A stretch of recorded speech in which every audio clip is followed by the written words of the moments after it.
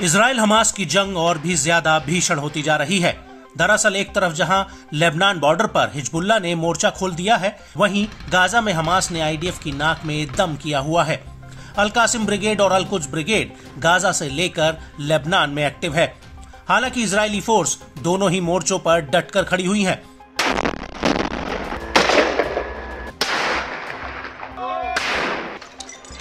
Gaza के भीतर Israeli सेना रफा और खान यूनिस शहर में लगातार भीतर घुसने की कोशिश कर रही है, लेकिन हमास के लड़ाके आईडीएफ पर ताबड़तोड़ हमले कर रहे हैं।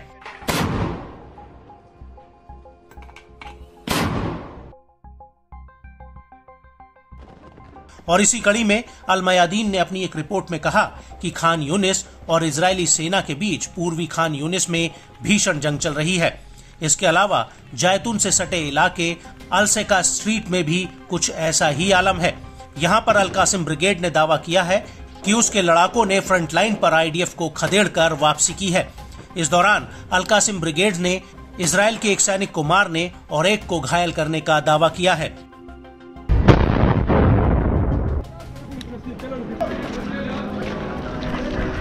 इसके अलावा अलकासिम ब्रिगेड के लड़ाकों ने इसराइली सेना के चार मेरकावा टैंक और अलियासीन 105 टेंडेम आरपीजी से हमला किया है।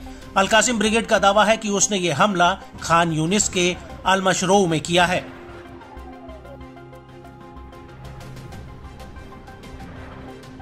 इसके अलावा अलकुज ब्रिगेड ने खान यूनिस के अल करारा में इसराइल के चार सैनिकों और कुछ सैनिकों को घायल करने का दावा किया है। अलकुज का कहना है कि इजरायली सेना का एक बुलडोजर भी इलाके में घुसने की कोशिश कर रहा था, जिस पर आरपीजी रॉकेट लॉन्चर से हमला किया गया। इन हमलों के अलावा अलकुज ब्रिगेड ने कहा कि उसने जैतून में इजरायली सैनिकों के जमावड़े पर मोर्टार से गोले दागे हैं।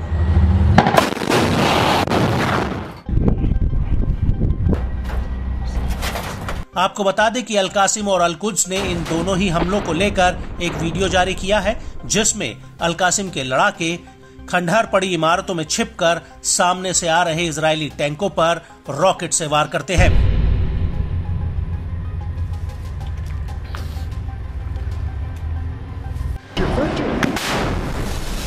इसके अलावा वीडियो में आईडीएफ के तीन जवान दिख रहे हैं।